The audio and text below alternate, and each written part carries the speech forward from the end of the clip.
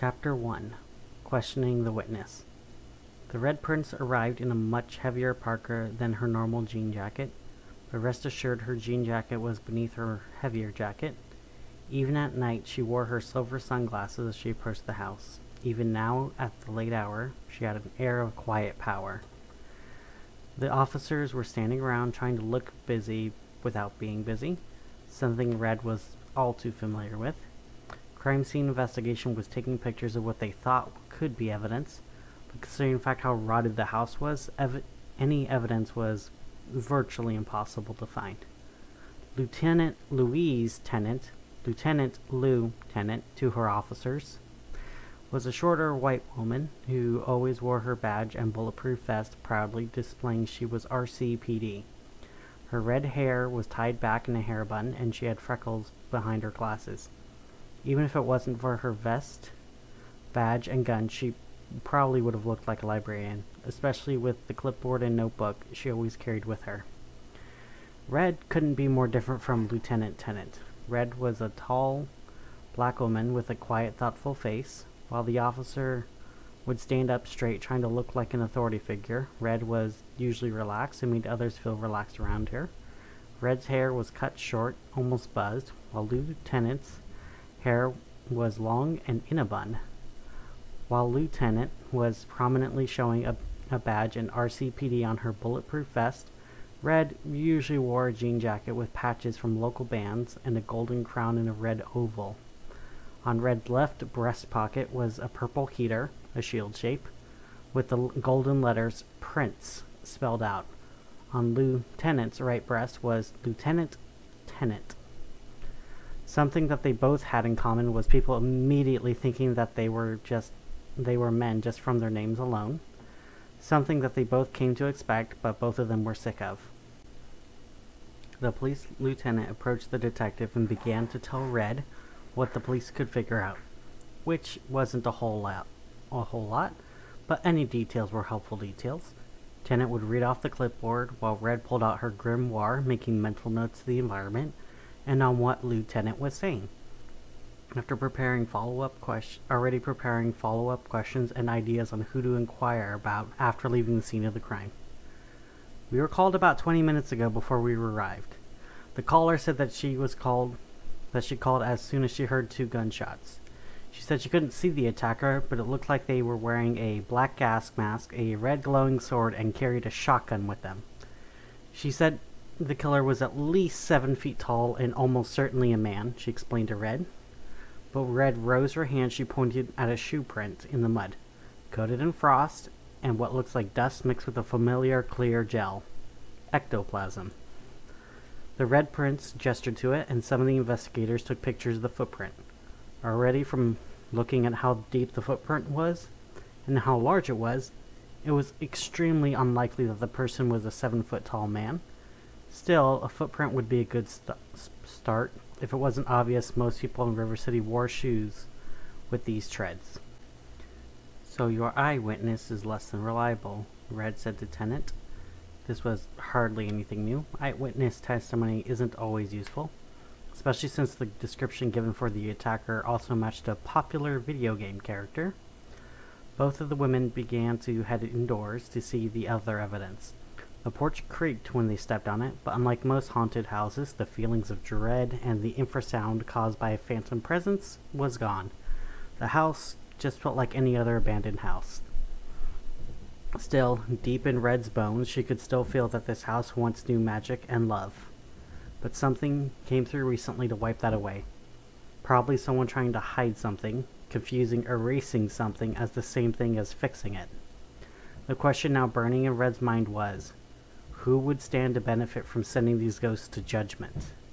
And who has the power to send ghosts to judgment against their will? The investigators continued taking pictures of the areas where the ectoplasm cleared off the dust. No other evidence left of the ghosts that had passed away in this house. In a corner, the crying ghost was still crying. None of the other officers even tried to get close to her because of how cold the air was around her.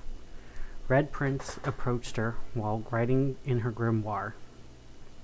The air was freezing and forced a chill down Red's spine. This was just the cold, however. Deep in her heart, she knew that the ghost woman was just scared and sad. This chill wasn't her trying to hurt someone. If this frozen phantom wanted to freeze someone, they would be a fully frostbitten sculpture right now. So trying to isolate her like the officers were doing wasn't going to be helping anyone or anything, least of all the investigation. Humming a soft song, the Red Prince took out a piece of paper from the grimoire and held it up for the spirit to see. The ghost stopped, cr- stopped crying for the first time in a long time and read the paper. Seeing the shifting script, the ghost felt warmth inside of her. For some reason, the moving letters helped her feel better, more in control, more of herself, and less of her afterlife curse. For the first time in over a hundred years, she took a deep breath. there was no real relief to her non existent lungs. Oxygen wasn't needed in her body, but the reflex remained with her, her instincts resurrected by the sight of the shifting script. Following one of the oldest habits learned by the living, even in death, routine was a comfort. The air just moved through her, but the act of trying to breathe did help ground her to what was happening here and now.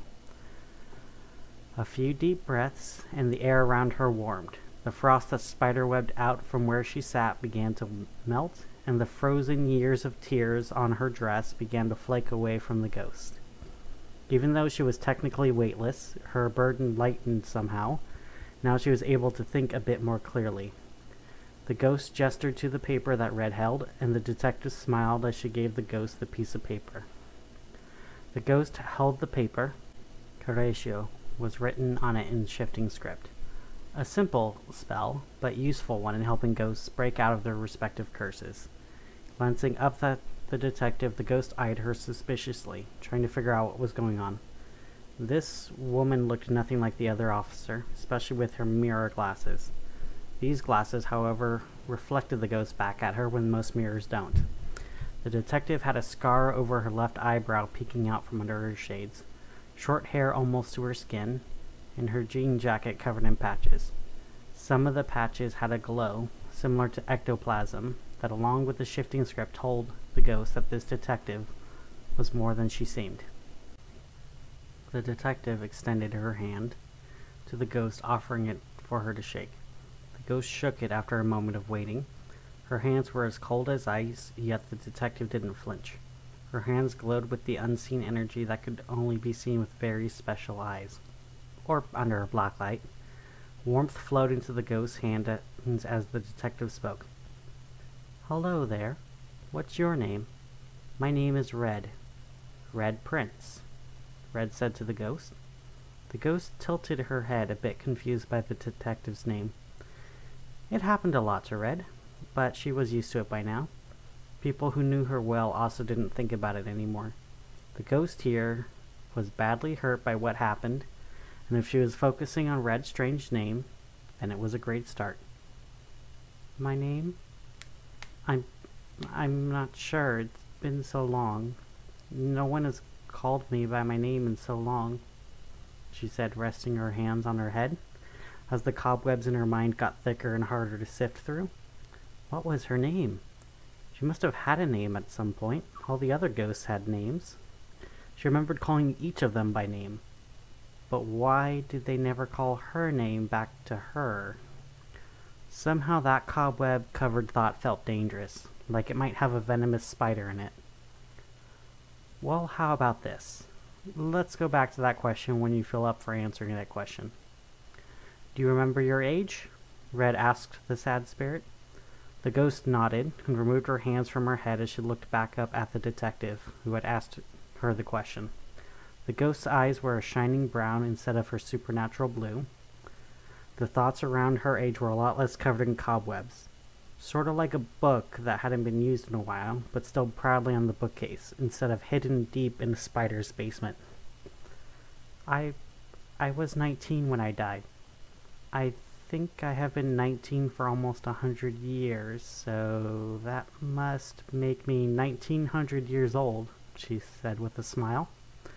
At first, Red was about to correct her, but then decided that now wasn't the time to try and explain math to someone who may or may not be joking. Instead, she wrote down the age and rough amount of years that the ghost had was haunting the house. Okay, very good. Now, is there anything you can tell me about the house before tonight? Anything you think about why someone might want to come into the house? The still nameless ghost tapped her chin and thought. She couldn't remember much from the days of life. It was like trying to remember a dream that someone else described to her. The last century of crying and freezing anything that came near her felt more real than the detective next to her or the police in the room.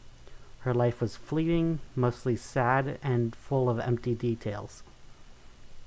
Mirrors covered by sheets, her parents yelling, an emptiness in her belly, teachers yelling, strangers yelling.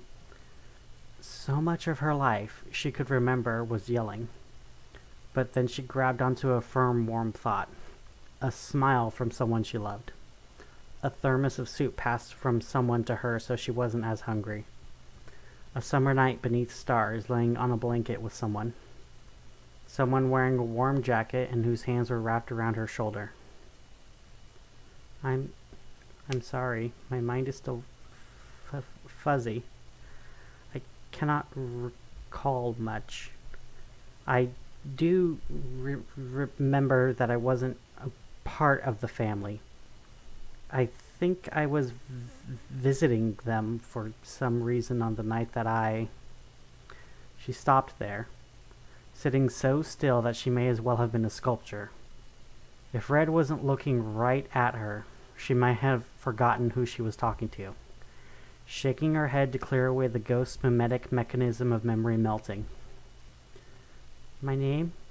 M my name is T -T Tiffany, I think. I wasn't part of the family. Tiffany thought out loud in a voice so low it was practically just a stray breeze. Red almost missed it, but instead she tried to offer it back to the ghost like it was a question. Would you like it if I referred to you as Tiffany? Yes. I, I would like that very much. Do you remember how the others were sent away?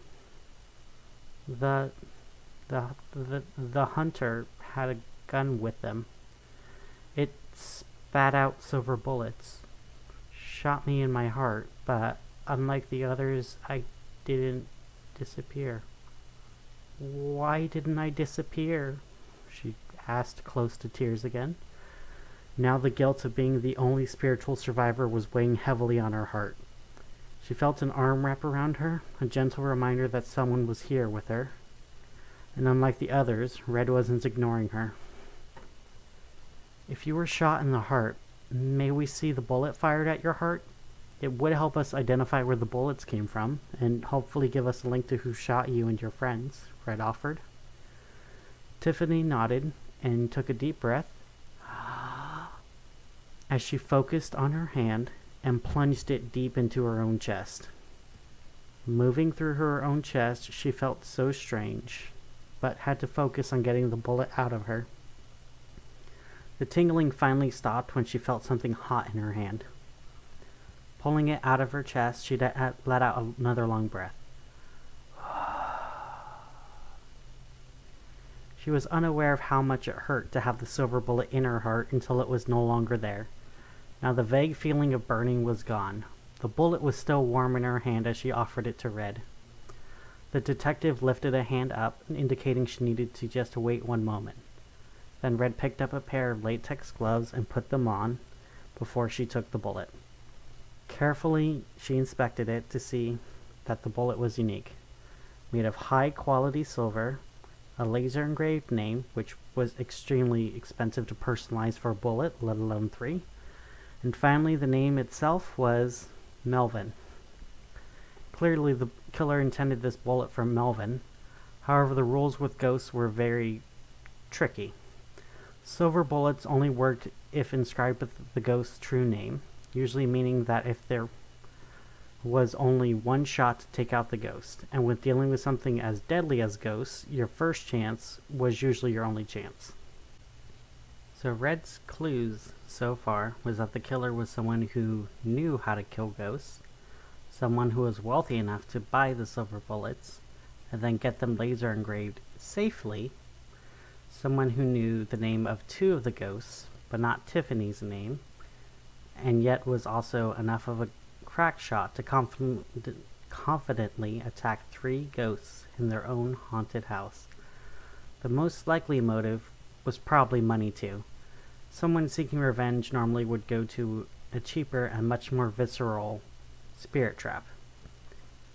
Tell me, if there were no more ghosts in this house, who does the property go to? Red asked Lieutenant. Tennant let out a groan Ugh, and shuffled through her entire clipboard, finally making it to the bottom paper and saw what she had on local property and zoning laws.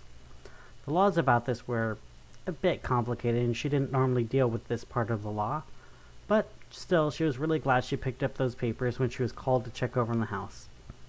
Looks like the house would be ceded to city government and then it would either be put up for auction or the city may decide to just tear it down and build something else here. But I'm not sure what this would have to do with this, the police officer said, while Red's mind was already formulating a hypothesis.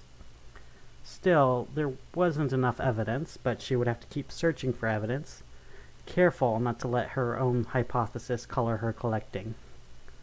All the evidence pointed towards somebody had something to gain from the loss of all these ghosts.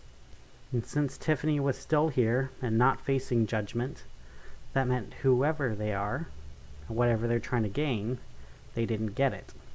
However, there was still a possibility they would return and finish the job if they think they could get away with it.